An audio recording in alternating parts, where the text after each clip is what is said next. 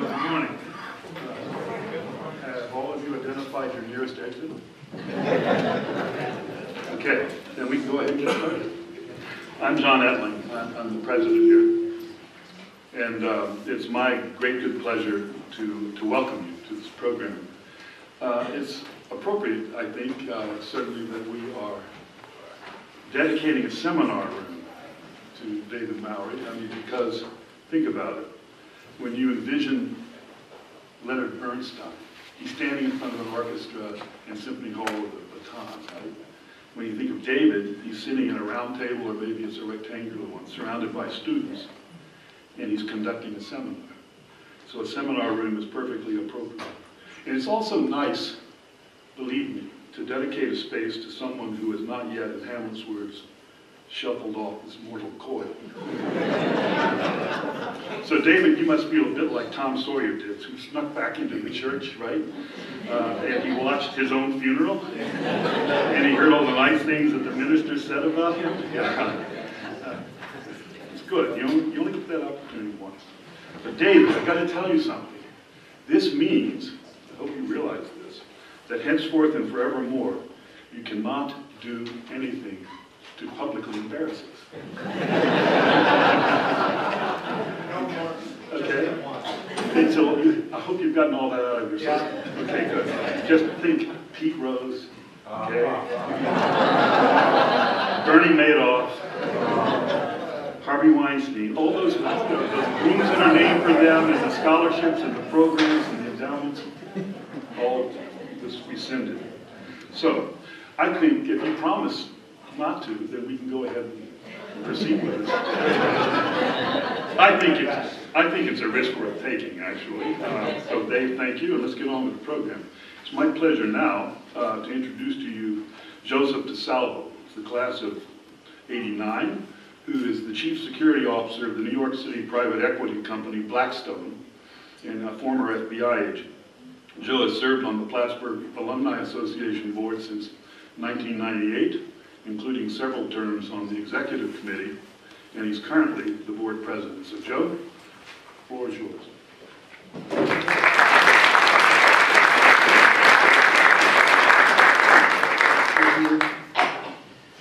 I'm going to start today by reading a letter that I wrote.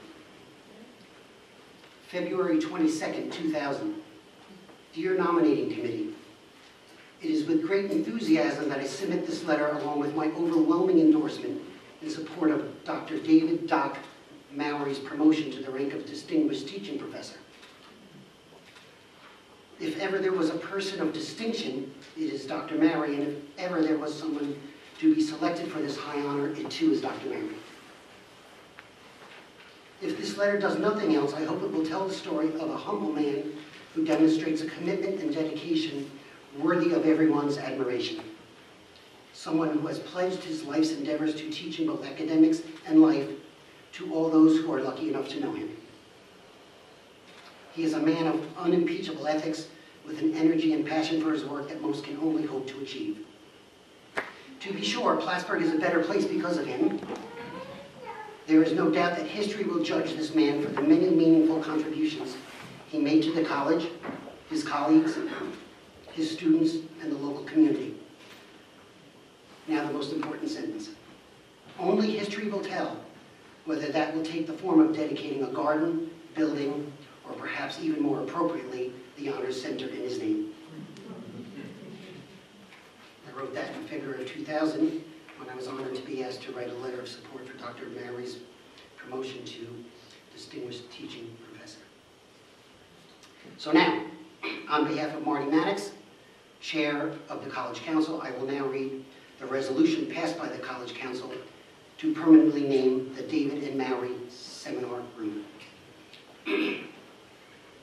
Whereas David N. Mowry, PhD, served SUNY Plattsburgh for 40 years with distinction, was a SUNY Distinguished Teaching Professor, Director of the Honor Center, and Professor of Philosophy at the time of his retirement in 2011. And whereas during a sabbatical leave in 1981, Dr. Mowry developed a proposal to restore a college-wide honors program, which was started by Dr. Edward E. Redcay in 1964. but languished after Redcay's retirement in the 1970s. And whereas Vice President of Academic Affairs, Dr. Jerome P. Supple, agreed to reform an honors program and appointed Dr. Mowry as director of the inception of the program in 19, at the inception of the program in 1984. And whereas Dr. Mowry invested himself deeply into faculty-student relationships, mentored thousands of students, and continues to maintain enduring relationships which, with countless alumni to this day. And whereas Dr. Mowry is renowned for his commitment to the study of the humanities, the development of critical thinking, and was a catalyst in the evolution of SUNY Plattsburgh from a college focused on professional studies to a truly comprehensive college. And whereas 45 alumni, faculty, staff, and friends of the college have gifted $35,000 in two months in order to honor Dr. Mowry for his profound impact. Now therefore be it resolved from the College Council of the State University of New York at Plattsburgh officially recommends to the President that the area within the Redcay Honor Center, formerly known as Honors Seminar Room B, be formally and permanently named as the David N. Mowry Seminar Room. And be it further resolved that the College Council thanks Dr. Mowry for his service to the campus and community and wishes him the very best. Signed, Martin D. Mannix Jr., class of 1964, Chair, College Council.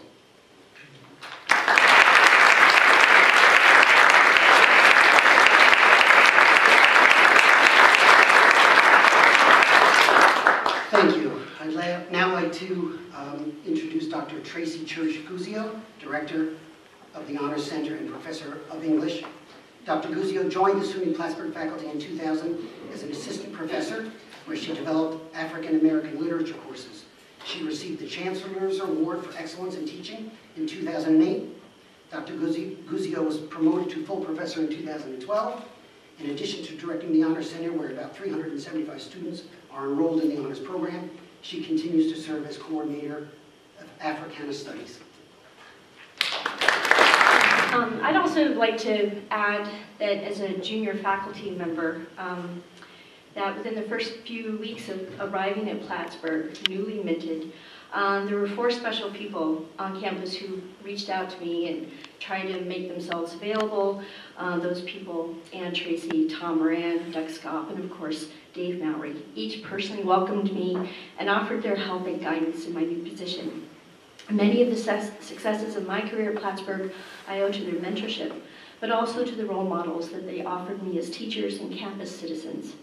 I still look at them as kind of like the Four Musketeers or that cool group of kids at your new school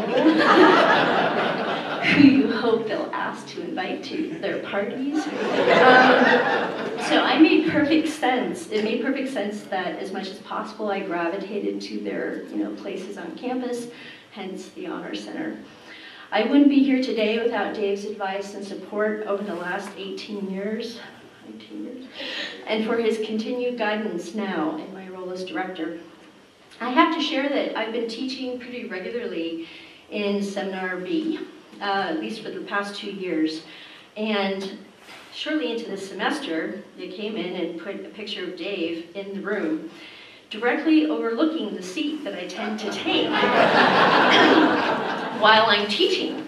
So um, he's literally looking over my shoulder while I'm sitting there. I'm right there. So I've moved around a few times because it was a little unnerving, uh, but now he's staring at me wherever I teach. And the class is American Gothic, so there are a lot of stories about people being haunted by portraits. so I'm talking about haunted portraits, and there's one kind of staring at me. To say the least, is keeping me very honest while I'm teaching and mindful of my role in the classroom. These last few courses that I have offered in the Mowry Room, as we'll now start calling it pretty regularly, all follow a similar theme, considering the ways that places in our history become narratives for our cultural experiences and our visions of who we are as a society.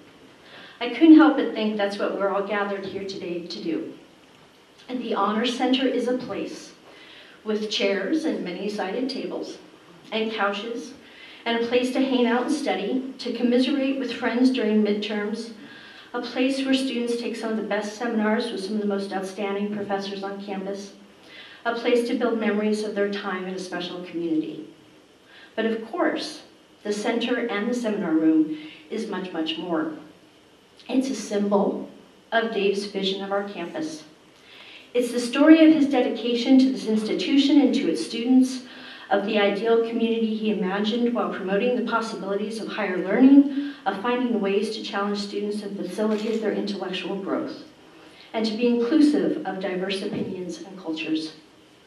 Today, the center and this room speaks to all who enter, casting a spell over them with this magnificent tale of a place where their journey can begin. Many of you in this room today may have been there when Dave first saw his dream take shape or when the seminar tables were installed. Or you may have had the pleasure of taking classes in this room with the founder himself. I know each of you will have a moment to thank him again today. But I would like to stand here for just a moment and thank Dave on behalf of all the future students and faculty and visitors. The ones who are not here yet, the ones who haven't even been born, Though the center in these rooms will someday have new paint, or new couches, or new secretary, a new director, this story will continue. Students will enter the Dave Mowry Seminar Room knowing that they have entered a magical, mythical place that will help them all reach the potential that Dave imagined for them. All of us here know how you, Dave, and the Honor Center made our own transformations possible. We know what wonders these future honor students will discover because of you. All right. I had like very emotional lately. um, so I'm now introducing Tony Ann Nichols, class of 1988, who is the senior managing counsel for Xerox Corporation, where she supervises a team of lawyers who counsel on a wide variety of employment and HR matters.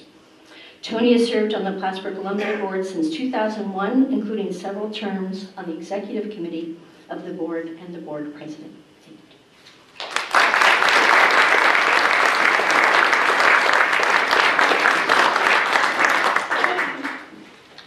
It's an honor and a privilege to be here today, to be able to celebrate Dr. Mowry and his longstanding commitment to the college and to the honors program. Dedicating the honors program seminar room in his honor is a fitting tribute to the man who had a vision of what an honors program could be and the dedication to make that vision a reality. When I was first sitting down to write these remarks, I struggled initially, not because I didn't have the words to sing Dave's praises, because those words come easily, but because I felt so close to him, I wanted my remarks to transcend our personal relationship. And then I thought to myself, wait, that's exactly what makes Dave so special. Year over year, decade over decade, he has made students feel unique and special. You know, it's funny. It was never my intention to go to Plattsburgh.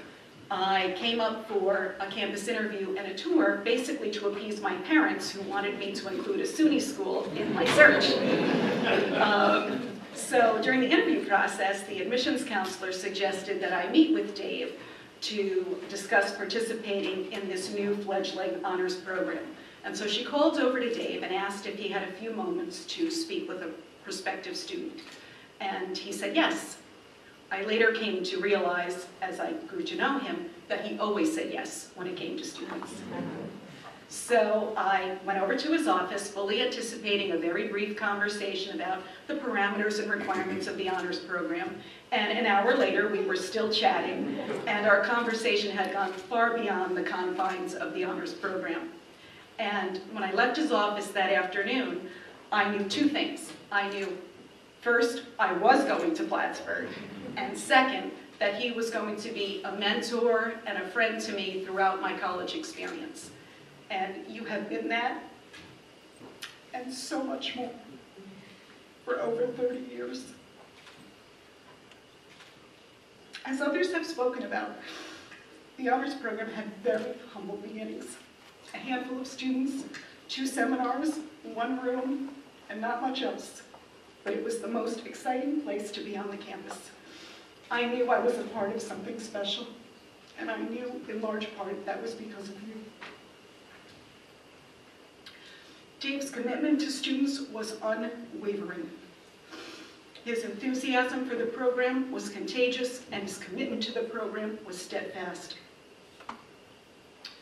Students were so excited to go to the weekly seminars because it gave us an experience different from what we had in the classroom. It was an opportunity for us to find our voice, to be able to speak rather than merely just be spoken to. I was fortunate enough to be um, a part of the honors program in the fall of 1984, which was the first um, semester that the honors program was offered. And at that time, there were two seminars that were offered, Men, Women, and Love, which was an English literature semi- seminar, and Democracy in America, which was a political science seminar. And I was a freshman English lit major at the time, so it probably seems like a no-brainer that I would have taken Men, Women, and Love. But Dave actually persuaded me to take Democracy in America. And when I asked him, you know, well, gee, why should I take that?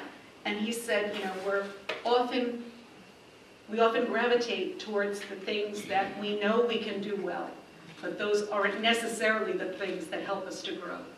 And so I said, okay, and I made the decision to take that seminar, and that led me on a path to law school and a career that I've enjoyed for over 25 years. And that was one of the first lessons that he has taught me over the years as a mentor and as a dear friend. Dave was and is a champion of students. When we suffered disappointments, he encouraged us. When we hit milestones, he celebrated it. He was with us every step of the way, helping us navigate our personal, career, academic journeys. There was always a parade of students outside his office waiting to speak with him uh, about everything from course selection, graduate schools, references, things going on in their lives, things going on in the world. And even though he had mountains of papers on, in, on his desk indicative of all the work that he had to do as a philosophy professor and an honors program director, he never turned us away. He never made us feel like we were wasting his time. He always made us feel like we were the most important person at that moment. His energy for his students knew no bounds. Over the years, I have often commented that I didn't think the program would have grown to the extent that it did without his steadfast commitment. And when I would say this, he would look at me and very humbly and modestly always say, no, it was the students who made the program a success. And while certainly the students were an integral part of the program, um, it was Dave who made the honors program a community and its students a family. And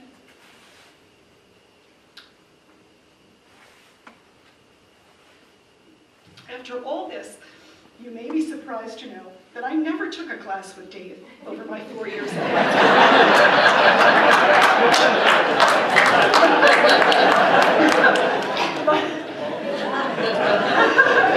But I always considered myself one of his students and he one of my greatest teachers.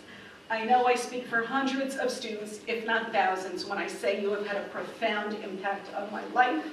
I am blessed to know you and so proud to be part of your living legacy. Thank you.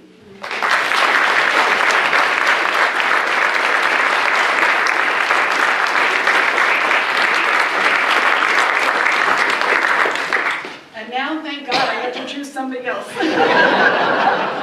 Okay. All right, my dear friend Justin Elmendorf.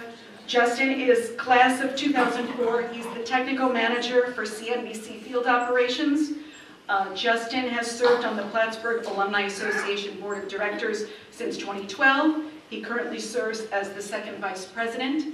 And on a personal note, I met Justin when he was a student in the honors program and I was an alum. I had come back for homecoming and Doc had set up these uh, honors program coffee houses where alums and students could get together and that's how we first met. And the, the rest is history. Take it away, Justin.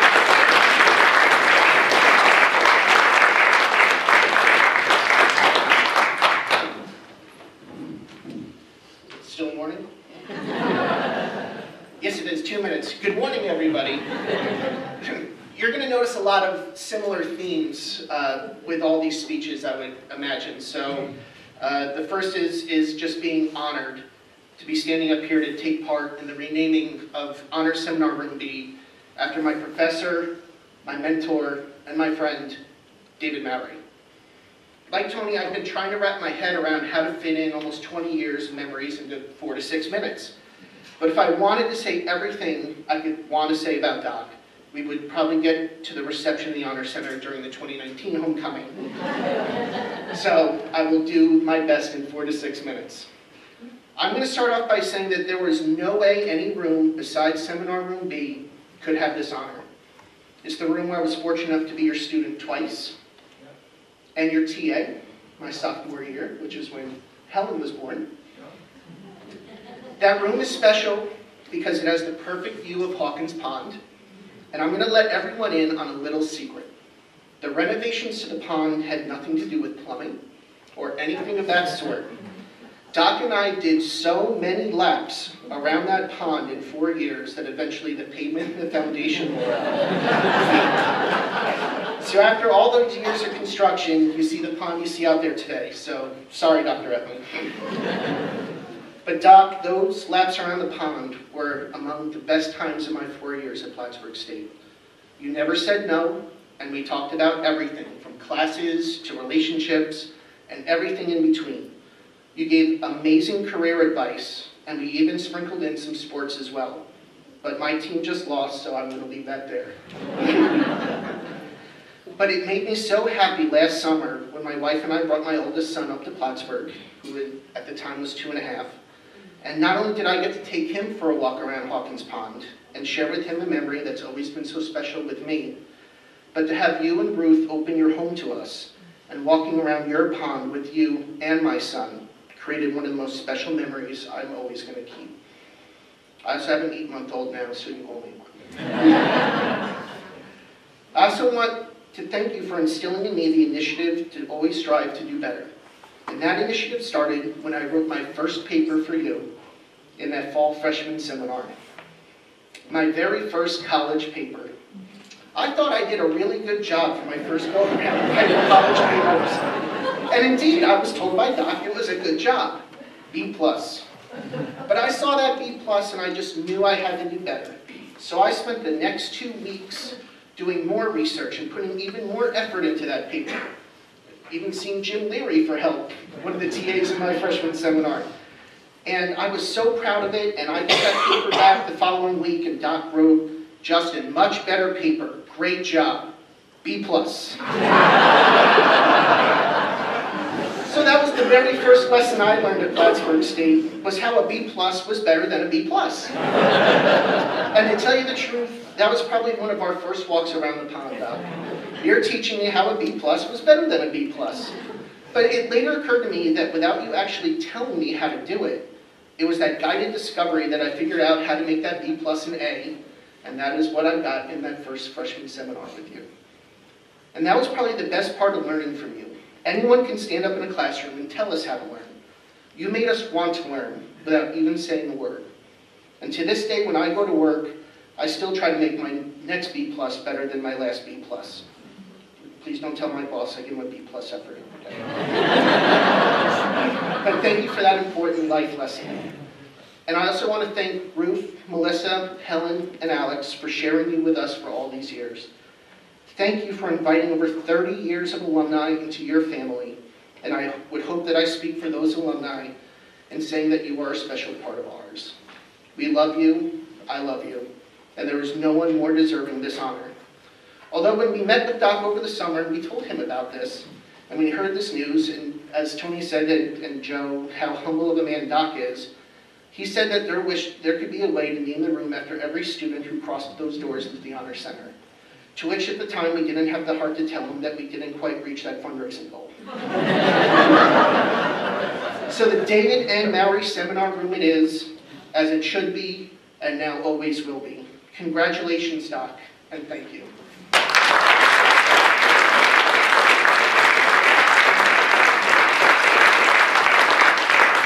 I'm proud to introduce our next speaker, Bashir Abdallah, graduating class of 2012, is the Vice President of Strategy for ServiceChannel, which is a New York City-based software company He lives in Burlington, Vermont with his wife, Emily Necrossum, who is also an alumnus of Plattsburgh State and the Honors Program.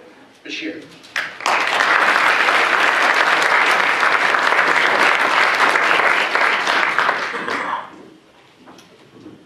So Tony had a good description of Doc when she said uh, that he has had a profound effect on, on his students.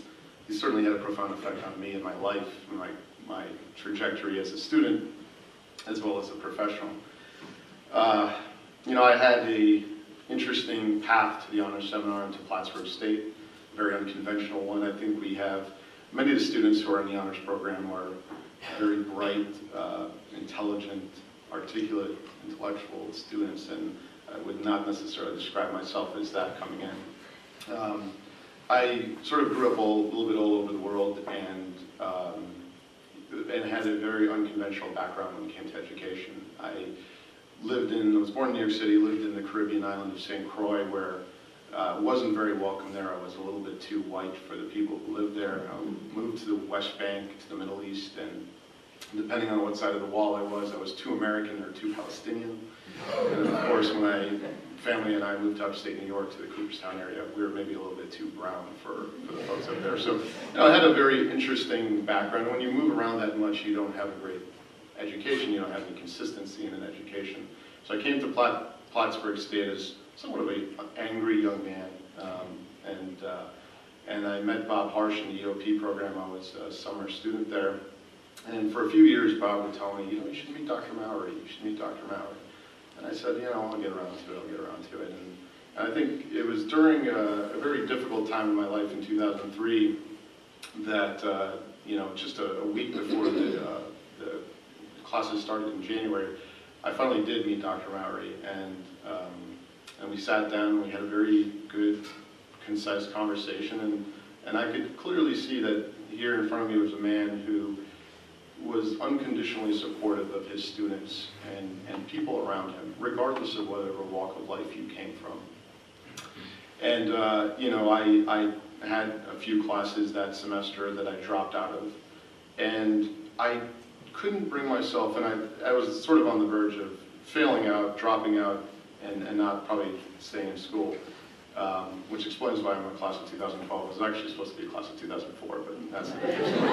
Um, and, and so, so I just couldn't bring myself to drop out of uh, doctor's, Dr. Mowry's class uh, on, and, uh, and I think part of it is, for the first time in my life, I felt a sense of home in, in Plattsburgh and at the honor seminar. And, you know, certainly uh, valued in a way as a student that I'd never been valued uh, before. And, um, and you know, Tony, you, you mentioned profound, and that, that's, that's exactly how I would describe Doc. Um, you mean a great deal to myself and to Emily and to every student that you've ever uh, had, had, who's had the pleasure of, of being in a class with you or just having a conversation with you. Um, uh, you know, a few years, many years later, uh, Doc and Ruth were kind enough to attend our wedding, and Doc was uh, very kind enough to officiate our wedding in, in, uh, at Valcour here. So I, I would I would just end with the fact that you know your impact on me and on the students has been an amazing one. Uh, we we truly love you, and, and this this honor is is very well deserved. You're a great man, and um, we we all think so very highly of you.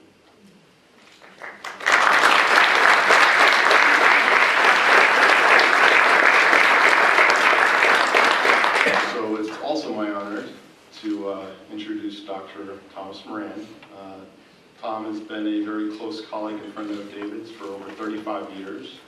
He's, he's also the provost and vice president of academic affairs here at Plattsburgh for almost a decade in the 1990s, during which time the honors program was under his purview.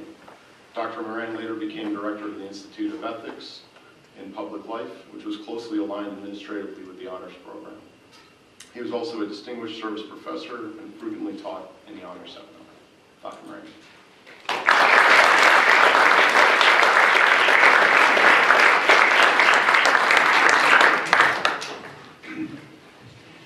You know, as I sat here, I, uh, I thought of Ed Redcay once describing himself in uh, his office, which was in the back hall of Hawkins. and the president uh, was in the front hall. Now, Doc was the dean of the college, but he said he was the caboose and the engine was in the front hall. I listened to these talks and thought, I am going to be the caboose this afternoon. they were wonderful talks, and John Ettling leaned over to me and said, These are wonderful talks. Um, you make us proud. Thank you. Almost half a century ago, Dave came to Plattsburgh. Could have gone to almost any other college or university. He was exceptionally bright and professionally capable. He epitomized a new generation of dynamic teacher scholars at our college. He might have made his mark at a research institution, pumping out articles and books for other scholars, but he soon discovered he had a calling in teaching, and he has lived a teacher's life. Dave's early devotion to teaching eventually ramified into a much larger project. He spent 30 years, as you've heard, constructing and cultivating a place, a place, the Honor Center, where excellence and caring and teaching were made palpable. That place continues to endure and thrive, and we are here today to name a part of it in tribute to him. In the early 1980s, Dave spearheaded, as you've learned again, the initiative to establish the honors program. He drew together a group of like-minded faculty to work on the project. But more than any other person, he articulated a vision for the program. He persuaded the campus of the value of the program, secured resources for it, designed a beautiful facility to house it, attracted faculty to teach in it, and students to participate in it. Essentially, Dave founded a college within our college. It is a legacy, a legacy that has yielded a transformative impact on the more than two and a half thousand students who have directly benefited from the program.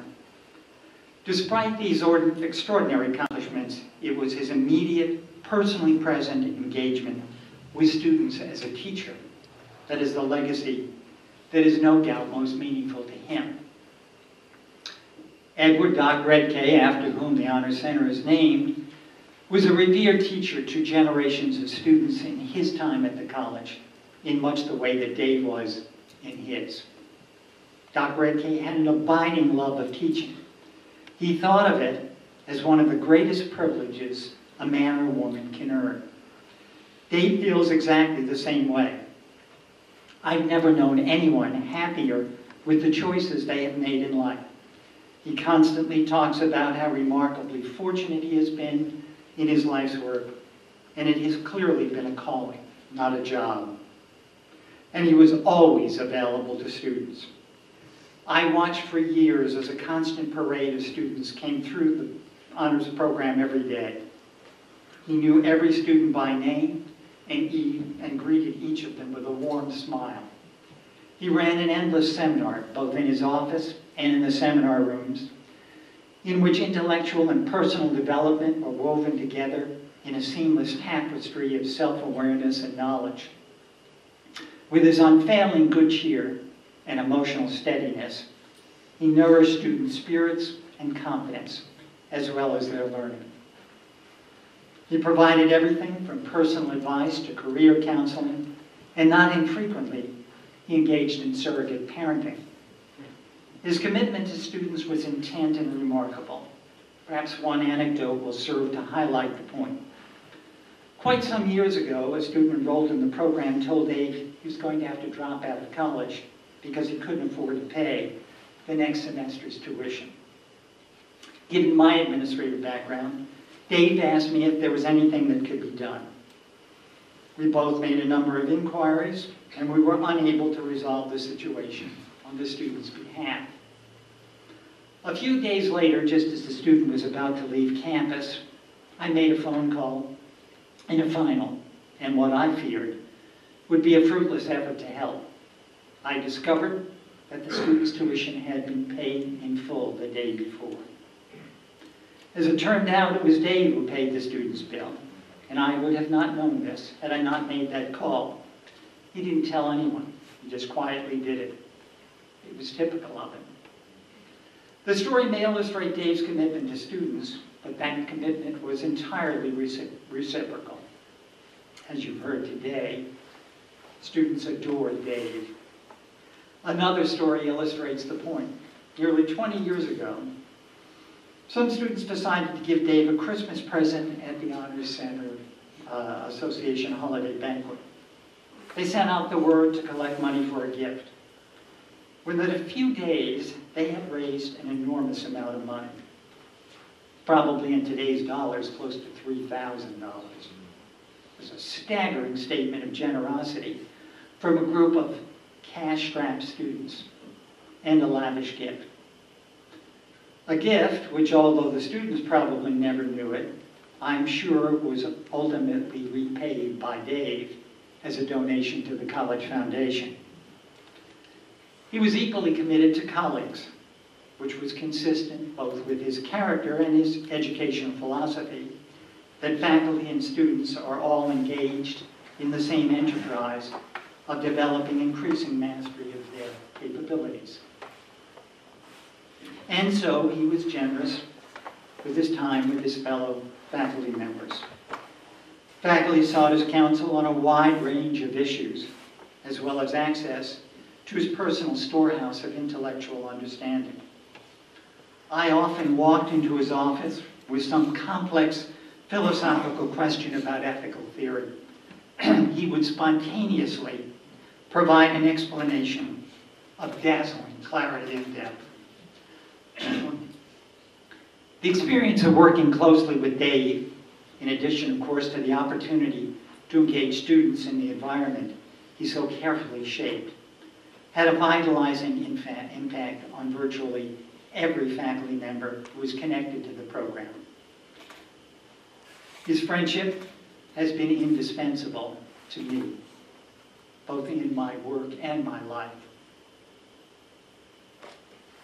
The renowned 19th century scholar William James observed that a teacher touches eternity because no one knows where his or her influence will end. In an echo of that observation, Doc Redcay said that being a teacher is to be touched lightly by immortality. We are here today because Dave Mowry's life as a teacher has been touched lightly by immortality. Naming this seminar room in his honor makes that realization tangible for us and for future generations. Thank you, Dave and Ruth, and your entire family, Melissa, Helen, and Alex, for what you have given our college family over the years. Hello, everyone.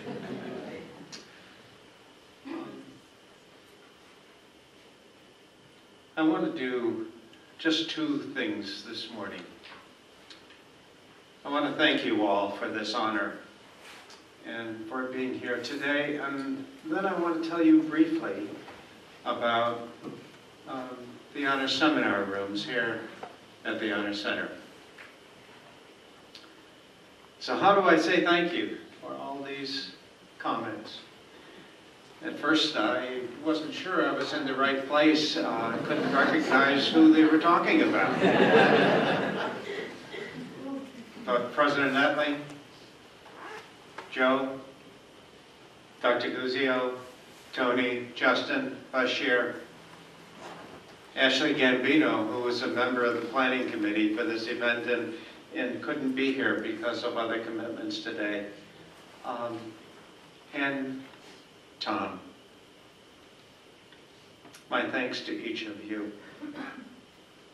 Not just for the nice things you've said, but for the years of friendship and the experiences in the honors program we have all shared, and for the opportunity to try to bring to life some ideas about education. As we were preparing our remarks, Tom and I um, shared some of the comments that we plan to make. Um, and Tom reminded me of a comment Lyndon Johnson made when he was president after an especially complimentary introduction. He said, if my parents were here, my father would have been very proud. My mother would have believed it. I know what he meant.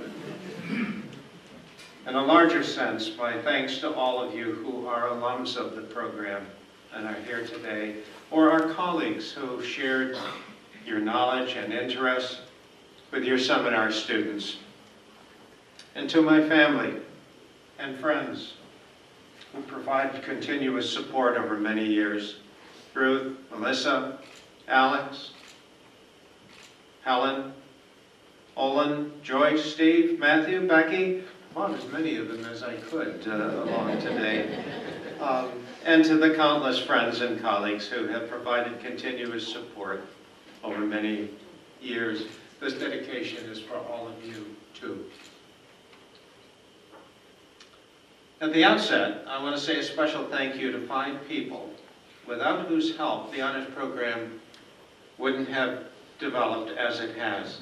People who understood and embraced the ideals of the program, its students, and its faculty.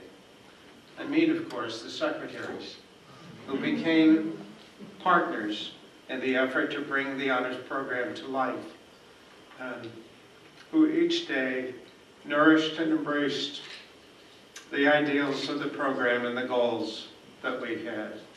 Carol Blow, the very first secretary. Where are you, Carol? Right There here. you are.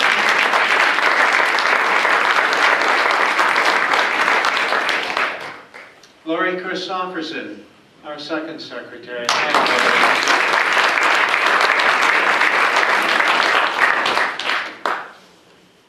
Judy Rodriguez, who I don't believe could be here today, but Colleen Bernard.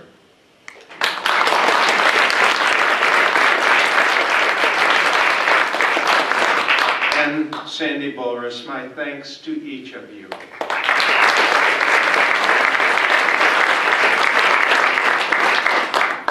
Finally, as we all know, the annual homecoming weekend and all of its many events and activities wouldn't happen were it not for the hard work and planning of our institutional advancement Vice President Ann Hanson.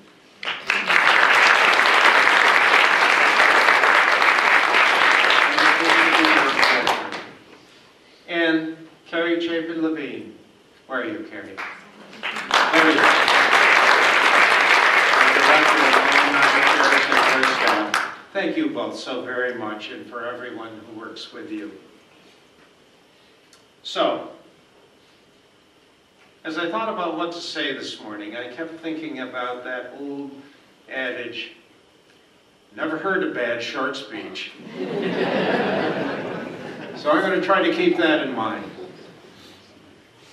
So I want to try to explain to you as briefly as I can why naming the seminar room in the Honor Center has special meaning for me and for which I will always be grateful. Though the idea of providing a first-rate education for all of our students and the belief in the power of public higher education to transform lives has always been a part of the core of this college. Witness, for example, the scholars program Doc Redcay initiated so long ago, in the 1960s, in fact. But another program that was also designed to strengthen the college and give our students direct access to leading thinkers was actually the source of the current honors program. In the 1980s and 90s, the Distinguished Visiting Professor Program brought many scholars and writers, artists, scientists, and others to Plattsburgh for a period of residency as temporary faculty members. Several were Nobel laureates. One of the first distinguished visiting professors was a world-renowned British philosopher named Stephen Toulmin. Stephen was in residence at the college for eight weeks, teaching classes, giving lectures, and helping our faculty with their own research projects. Toward the end of his stay, I asked him one evening at dinner what he thought about the college and what he thought we could do to make it even stronger. His response was simple. He said, you know, I've met some very bright and good students here. but they often don't seem to have much contact with each other. I think you should develop an honors program so they could take some classes together. So, from that simple suggestion, a long journey developed. I've often thought of the honors program and the honor center as an experiment in what might be called the ecology of education. That meant, among other things, designing an environment in which the ideals and activities of the honors program could thrive. There's much that could be said about the honors program, but in the interest of time, I want to focus on just one aspect of that environment the design, development, and evolution of the seminar rooms. If you think about it, we often do design spaces that fit and support the activities we want to pursue. For example, if you want to play basketball, it's a good idea to design a basketball court rather than a tennis court. Or if you want students to learn how to test their ideas in a science course, the science lab is a useful thing to have. Artistic talent is perhaps better nurtured in an art studio than in a library. You can make do with those mismatches, but I thought we could do better in designing our honor center to house the new honors program than we had done in our very first honor seminar room. Over the years, a distinguished committee of students and faculty worked together to design the scaffold of the honors program. In fact, two members of that original committee, I think just two, are here this morning. Stu Denenberg, Stuart, where are you? Yes, indeed, Stuart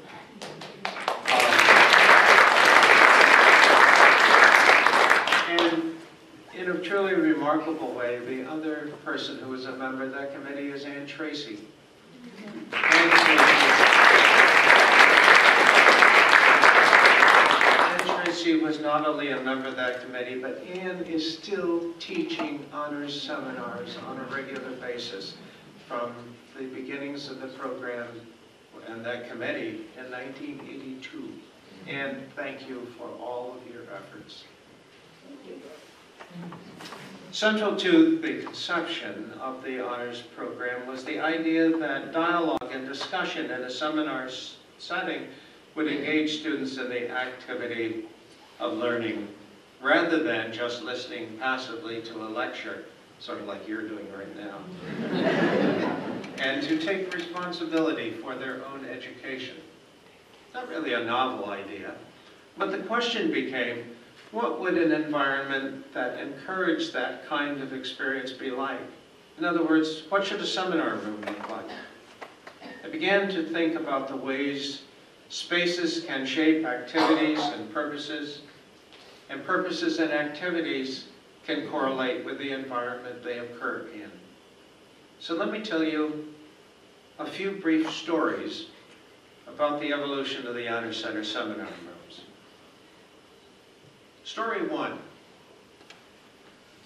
At the very beginning, the honors program space in the Honors Center was very limited, and I mean very limited. In fact, virtually the entire Honors Center was crammed into the space that now is the director's office. Right, Tracy? The seminar room was in the outer two-thirds of that current office, and the, and, and the office that I shared with Carol Blow, our first secretary, was little more than a large closet. It was so small that Carol and I used to joke from time to time that we should have beepers installed on our desk chairs so that if we backed up, we could avoid. Another feature of that first Honor Center was that to get into the office part of the Honor Center, you had to go through the seminar room. That meant that if a seminar was in session and Carol or I were outside the office when the seminar started, we couldn't get into the office until the seminar was over without interrupting the discussion. Or if we were in the office, we couldn't get out until the seminar was over. The point is that though we were glad to have an honor center at all, it surely wasn't the best environment to hold a seminar. Story two. As the honors, as the honors program continued to grow, it became more and more clear that we needed more space. And we needed to design that space to include a better seminar room. It happened that that early honor center was adjacent to a large open classroom that I thought could be partitioned into a study lounge area and a couple of seminar rooms. So I talked to Tom Moran, then Vice President for Academic Affairs and soon to become Provost of the college, about expanding the Honors Center into that classroom. I could imagine a much better environment for the kind of activity envisioned in the honors program design. But I didn't hear back from Tom for quite a while, until late one summer afternoon before the fall semester began, when the campus was especially quiet. He appeared at my office door. As was often the case, we shared our thoughts about the future of the program and our dreams about the educational experiences we wanted to create for our students. We looked at that empty classroom space thinking about how we could divide up that space to create the environment we needed. To help with the process, I said, Tom, let's get some masking tape and outline on the floor where we think the partitions could be constructed to create a couple of seminar rooms. So we got down on our hands and knees and began outlining where those rooms might be. Now I have to tell you, anytime you can get a vice president or provost on his hands and knees for anything, you know you're on the right track and you have his or her attention. But then, Tom was always willing to do whatever he could for the college he loved, including crawling around on his hands and knees. Of course, neither Tom nor I had any expertise in architecture or interior design. Fortunately, Derek Allen was the college architect at that time, and he quickly transformed our ideas into two seminar rooms and the study lounge we have today.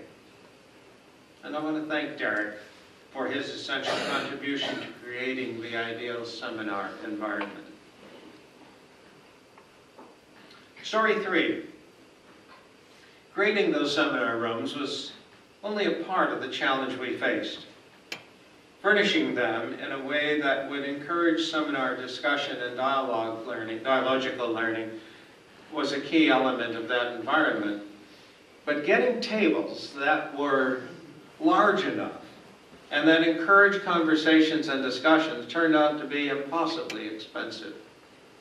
So I began thinking about materials that might be available locally from which we could construct tables large enough for seating 15 students and their instructor. It occurred to me that tables in the shape of an octagon was the perfect solution. Two seats on each face of an eight-sided shape. Well, the math was pretty simple. And that shape maximized face-to-face contact for students and their instructor with no real head seat, except whoever happened to be speaking at the time. Seemed like a good idea to me. We were fortunate in having an art major in the program who was also a skilled woodworker. His name was John Finlayson. And John was willing to spend a summer constructing the tables for us. And though he tragically passed away during his first year of graduate school, I want to remember John's contribution to our ecology of education experiment. Stories four plus, uh, put some together here. Uh, there are many stories I could tell about the seminar rooms and the environment they created. like the time Laurie Christopherson, our second secretary, came into my office. She said she had heard so many students talk with excitement about the ideas they were exploring in their seminar. She wanted to know if I would let her take a seminar of her own. Of course, I agreed. And Lori started down the path to her own education and now has pursued a, her own career as a teacher.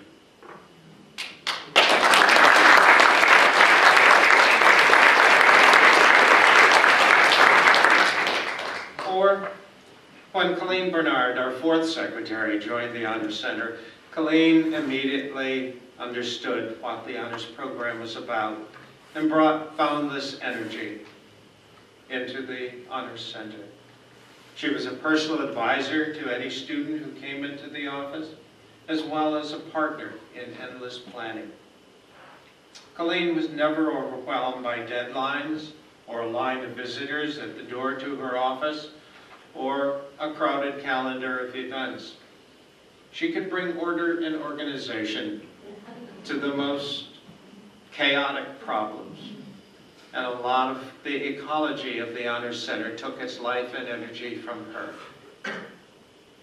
And Sandy Bulris, who came to the Honors program the last year before I retired and who became a partner to Dr. Armstrong. Dr. Armstrong deserves a special thanks too for taking over the leadership of the honors program when I retired. And now he has turned that program over to Dr. Guzzio, the third director of the honors program. I think I could produce a story for each of you who are honors program alums or who are faculty who have taught in one of the seminar rooms at the table, exploring ideas with their students. In fact, it was not uncommon for faculty who had been teaching a seminar to come by to talk about their experience at the end of the semester. Often they would lament the end of the semester. And in one way or another, they would say something like, you know, this is what I thought teaching at the college level would be like. But a question kept nagging at me. How did we know that the environment of the honors seminar rooms was having the effect we wanted? Now you have to remember that this was the time in higher education when data gathering seemed to be the only way to answer such questions. Like a lot of faculty in the humanities, I was a little skeptical methodology. Remembering that we were, remember that we were hoping to encourage students to become more self-reliant, to accept responsibility for their own education, and putting their ideas out on the table for consideration by others. The German philosopher Immanuel Kant set that standard most clearly, I've always thought, in his little essay, What is Enlightenment? To paraphrase that opening, the opening paragraph of that essay, Kant answers his own question by saying that enlightenment is being free from the need or guidance by others. In other words, being able to think for oneself and accepting the responsibility for doing that. Not a bad way to frame the overall goal of honor seminars, I thought, or perhaps the goal of the ecology of education itself, especially education in a democracy. Well, it happened that a seminar I was teaching one semester showed me better than any data set could that for at least students in that seminar, things were working out as we had hoped. About halfway through the semester, I walked into the seminar room, sat down with the students who had already gathered there. But before I could begin the discussion of the day, the student said, Doc, we think we've got the idea of the seminar. We were wondering if you would leave and let, let us run the seminar on our own. Toward the end of the class, we'll come and get you and tell you what we've done. I was stunned, to say the least. And at first, it seemed pretty risky. But talk about taking responsibility. And they did a superb job. I was pretty sure things were working as we had hoped. I think I'm already exceeding the limits of the good speech guideline that I mentioned at the beginning of these remarks. So I hope each of you, who is an alum of the honors program, will remember your own experience in your favorite seminar room with your favorite seminar instructor. It is not just for me that I'd like the seminar room to be dedicated, but to everyone who has explored ideas in that environment. So in closing, I want to circle back to the ideas I began with about never hearing a bad short speech, even if I've violated that principle. I used to teach an honor seminar for incoming freshmen called National Issues, From Controversy to Consensus. One task students in that seminar had was to prepare and present a topic on an important national issue to an invited group of students, faculty, and community members under the guidance of another student who had taken this same seminar with me the year before and who became a teaching assistant. After one such forum, one of my teaching assistants that semester, Nishank Bala, an international student from India, gave the best short speech I've ever heard about the ideas at the heart of all honor seminars and seminar rooms. As he helped me carry back materials from the forum to my car that evening, he said to me, Doc, I think I've got it. I think I figured it out. I looked at him quizzically. He said, in an honor seminar,